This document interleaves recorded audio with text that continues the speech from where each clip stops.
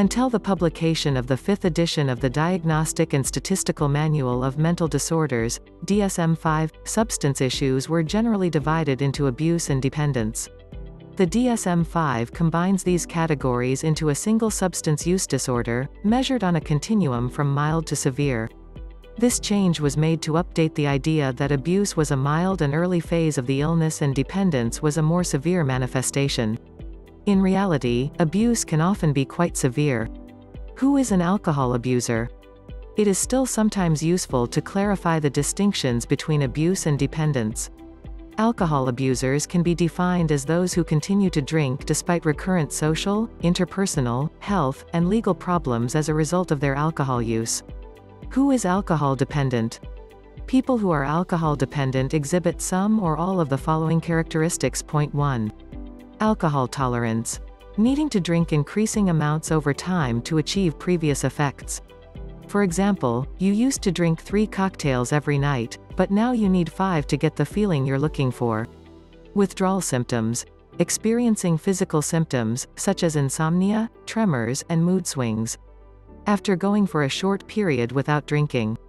Drinking to relieve or avoid withdrawal symptoms, such as drinking to stop the shakes or to cure a hangover. Awareness of the compulsion to drink or craving for alcohol, regardless of whether you admit it to others. Drinking larger amounts or over a longer period than intended and making unsuccessful efforts to cut down. Those with moderate to severe alcohol use disorders generally require outside help to stop drinking.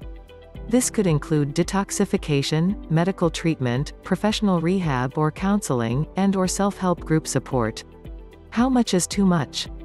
Are your drinking habits safe, risky, or harmful? Are you abusing alcohol or alcohol dependent? Looking at the aforementioned symptoms can give you an idea of how your drinking may fall into harmful patterns and indicate whether or not you have a drinking problem. If you or a loved one are struggling with substance use or addiction, contact the Substance Abuse and Mental Health Services Administration, SAMHSA, National Helpline at 1-800-662-4357 for information on support and treatment facilities in your area. For more mental health resources, see our National Helpline database. Alcohol withdrawal symptoms and treatment If you are alcohol dependent and decide to change your life and quit drinking, you can expect to experience withdrawal symptoms.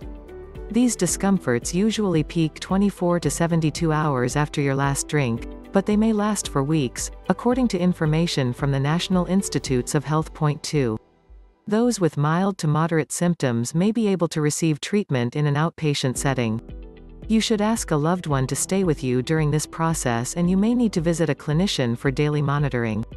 If you have moderate to severe symptoms of alcohol withdrawal, you may require inpatient treatment at a hospital or substance abuse facility. Symptoms of severe alcohol withdrawal include fever hallucinations seizures severe confusion unstable vital signs,